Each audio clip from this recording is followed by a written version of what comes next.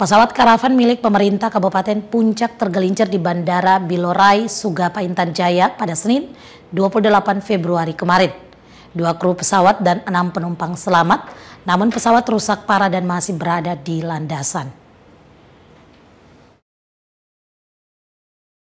Pesawat perintis jenis karavan dengan nomor registrasi SAS PK Strep VSW milik pemerintah Kabupaten Puncak tergelincir di Bandara Bilorai, Sugapa Intan Jaya pada Senin pagi 28 Februari kemarin.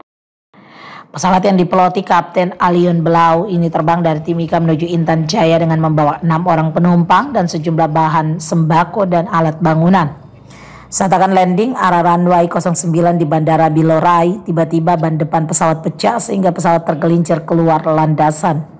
Dalam insiden ini, dua kru pesawat dan enam orang penumpang dinyatakan selamat, sementara pesawat mengalami kerusakan cukup parah, yakni ban depan patah, serta baling-baling dan bagasi depan rusak parah.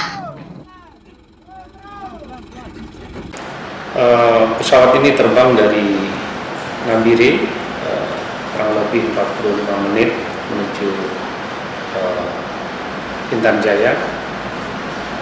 Atas peristiwa tersebut tidak ada korban jiwa ya karena eh, enam penumpang dan satu pilot serta awak pesawat itu dalam keadaan sehat walafiat. Pesawat dipiloti oleh Kapten Alion Bileo dan FO Irela Yudias keduanya dalam keadaan sehat walafiat. Uh, untuk bandara saat ini uh, bisa digunakan oleh pesawat-pesawat lainnya.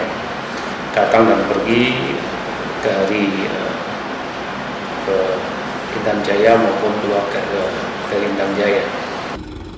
Aktivitas penerbangan di Bandara Bilorai Sugapa juga tetap berjalan aman dengan pengamanan ketat dari aparat keamanan TNI Polri.